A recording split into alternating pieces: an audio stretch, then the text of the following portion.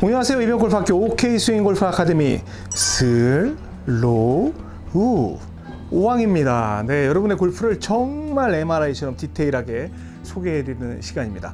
좋아요, 구독, 알람 설정 꼭 부탁드리겠습니다. 자, 우리 지난 시간에 백스윙 탑에서 half down까지 들어갔었죠. 그래서 백스윙 탑이 쫙 갔으면 여기서 뭐 cocking으로 올라갈 수도 있고 hinging으로도 올라갈 수 있지만 중요한 건 하프에 왔을 때 최초에 있던 클럽 페이스가 약간 숙여지는 이 모습이 유지되어야 한다. 왜? 이거는 모든 스윙, 무슨 뭐 conventional 스윙이건 옥 스윙이건 무슨 뭐 무슨 뭐 안드로메다 스윙은 무조건 지켜야 된다고 그랬죠. 그리고 여기서부터 꺾고 올라가든 뭐 그대로 올라가든 이건 여러분들의 어떤 선호도, 뭐 preference라고도 하는데 그거에 따라 달라집니다. 하지만 탑에 올라가서 이렇게 돼 있으면 이대로 뒤집어져 있으면 다시 이 위치로 들어왔을 때 정상적으로 몸의 회전을 통해서 공을 칠 수 있다라고 말씀을 드렸습니다. 자, 그러면 이제 하프 다운에서 이제 임팩트까지 가야 되는데 임팩트에 대해서 우리는 그렇게 생각을 해요. 공을 때리는 동작이다라고 하는 뭐 골퍼들도 있고 아니면 공이 맞는 순간이다라고 말씀하시는 그런 골퍼도 있는데 저는 그 슬로우원 같은 경우는 그냥 공이 맞는 순간이다 어느 정도는 그리고 정말 고수의 단계로 갔을 땐 공을 때리는 동작이다라고 음, 말을 하는데요. 어, 왜냐하면 공을 때리는 데 집착을 하게 되면 팔로스라든지 피니쉬 또 타겟으로 치려는 그런 의도가 좀 약해지기 때문에 일단은 공을 딱 때리려는 동작보다는 일단 맞고 전체 스윙 속에 들어있는 과정이라고 저는 표현을 합니다. 나중에 디테일하게 설명을 드릴게요.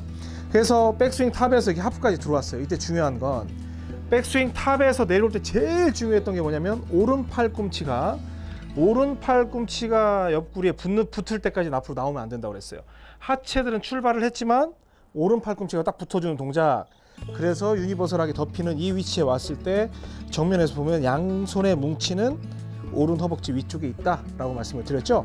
그럼 이 구간에서 이제 어떻게 되냐면 이 구간에서 공을 때리는 동작이 아니라 계속 몸은 이제 위에서부터 도는 동작이 시작이 된 거잖아요. 그래서 이 위치에서 계속 하체 회전, 그 다음에 그거에 의해서 상체 회전도 이루어지는데 여기에서 이게 내려오게 되죠.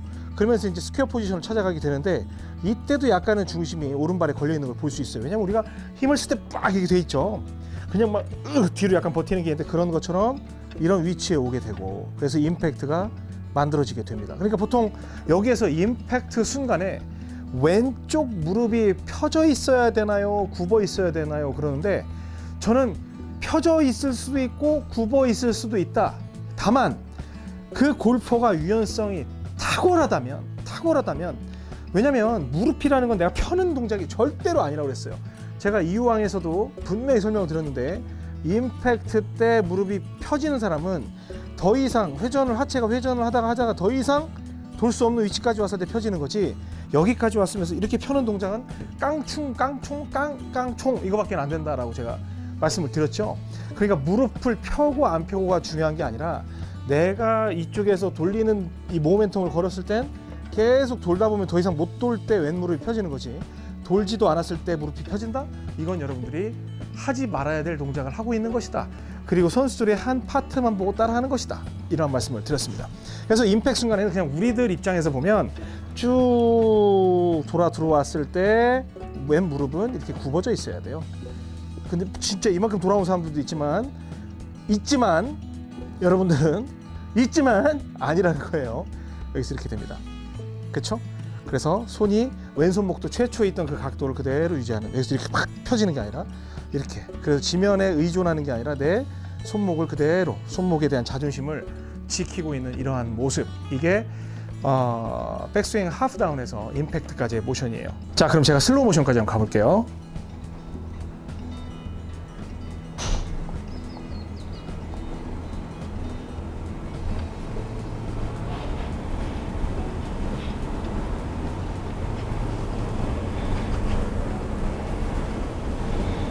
cocking. hinging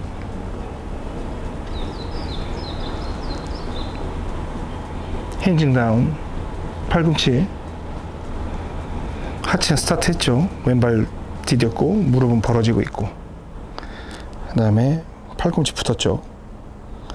그 다음에 내가 끌고 내려와서 때리는 게 아니라 하체가 돌기 때문에 끌려 내려와서 공이 맞는데 이때 중요한 건 왼무릎이 굽어져 있다는 거예요. 또 코킹에서 갑니다. 코킹에서도 다운 팔꿈치 붙죠. 그리고 원래 위치로 빨리 돌려 들어오고 그다음에 하체 돌고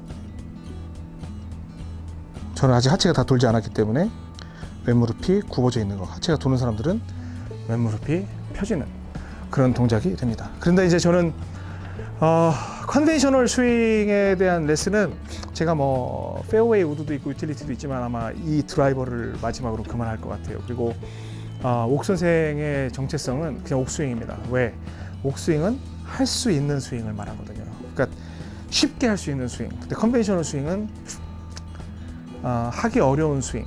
가장 원칙적인 부분에 대한 제시는 있지만 우리가 하기 어려운 스윙. 특히나 어, 한 30대 후반, 30대로 가서 40대, 50대로 갔을 때는 거의 불가능한 스윙 그런 거거든요. 그래서 보면 이 스윙 속에서 그 크기를 다 할 필요 없이 여러분들이 편한 크기로만 요만큼만 해서 요만큼만 때려줘도 얼마든지 스윙을 하는데 conventional 스윙으로서의 자격이 있으니까 여러분들이 너무나 잘하려고 하지 마시고요. 만약에 난 요 파트에서 작은 스윙에서 팔꿈치만 한번 내려봐야 되겠다. 그래도 훌륭한 스윙이 돼요. covering 치고 이런 식으로 팔꿈치만 내려도 얼마든지 편하게 스윙을 할 수 있으니까 너무 제가 지금 슬로우왕에서 크게 한다고 해서 그걸 따라하려고 노력하시지 않아도 됩니다. 아셨죠? 하지만 스윙에 대한 컨셉을 정확하게 드리고 있는 거니까 이렇게 이해해 보시기 바랍니다.